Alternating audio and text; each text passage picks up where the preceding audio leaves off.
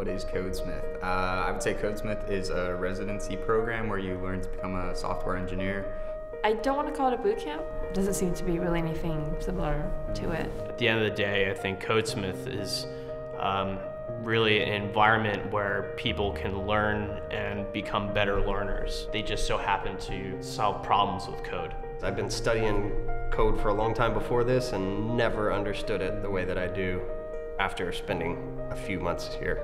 You know, it's a different place than other boot camps because it allows you to make mistakes. You sort of like learn, you know, experiment. We practice really hard, we get acclimated to a team, and then we're ready for mid-level, senior level roles. Ultimately, it's worth it and sets you up for success in the long run. I'd say it's a community of learning, and that's to me where the magic happens here. What is Codesmith? Um, it's home.